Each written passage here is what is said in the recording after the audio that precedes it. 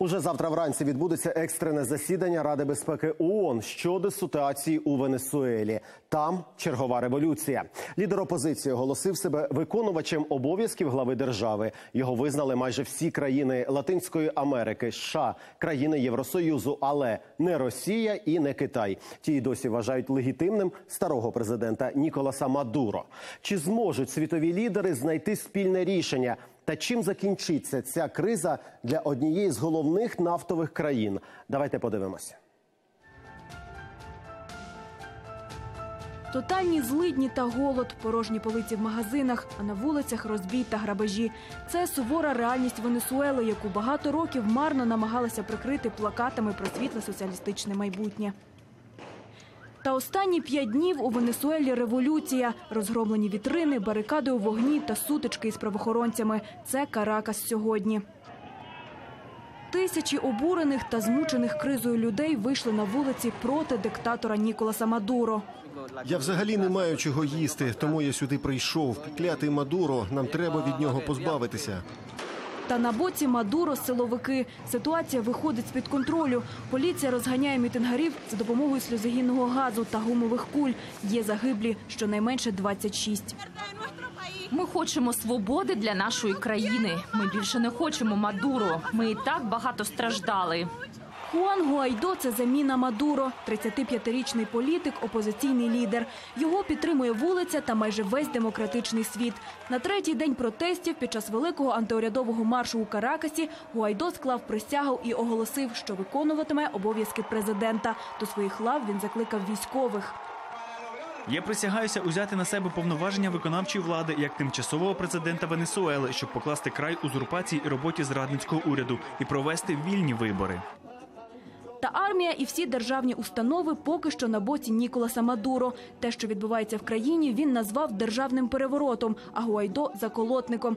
Прихильники Мадуро зібрали власний мітинг, а військові присягнули йому на вірність. І тим самим Мадуро дав зрозуміти – владу він не віддасть. Геть з Венесуели, досить інтервенцій. Тут є люди, здатні захистити свою землю. Боротьба зі світовим капіталізмом та інтервенцією штатів і побудова світлого соціалістичного майбутнього – це головні політичні міфологеми Мадуро, якими годують венесуельців вже багато років. Та чи спрацюють вони цього разу? США, Франція, Британія, Німеччина, Канада, Євросоюз – усі на боці протестувальників та Гуайдо.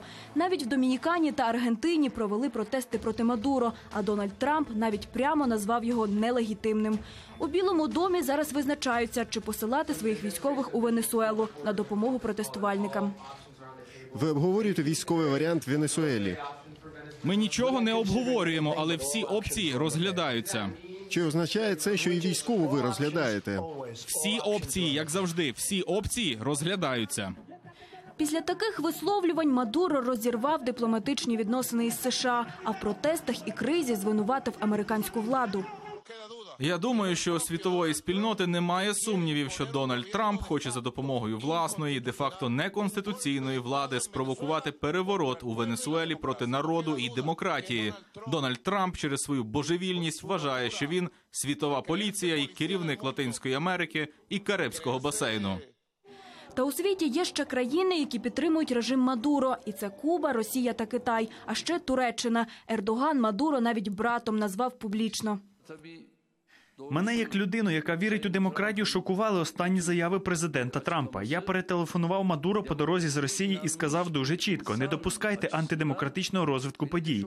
Я думаю, Мадуро подолає ці перепони і продовжуватиме свій шлях із тими, хто у нього вірить. Ніколас Мадуро, ставленик та послідовник політики одіозного Уго Чавеса, керує Венесуелою з 2013 року. І за час його правління політична та економічна криза в країні досягла піку. Інфляція сягнула півтора мільйона відсотків. Через це довелося міняти валюту на новий суверенний болівар.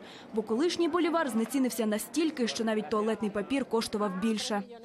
Десяток яєць коштував 3 мільйони боліварів, а мінімальна зарплата 2 мільйони. Ти працюєш 15 днів і не можеш купити яєць.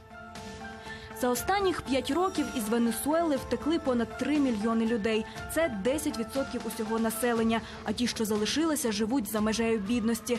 Люди голодують. Кожен із них через недоїдання схуд у середньому на 11 кілограмів.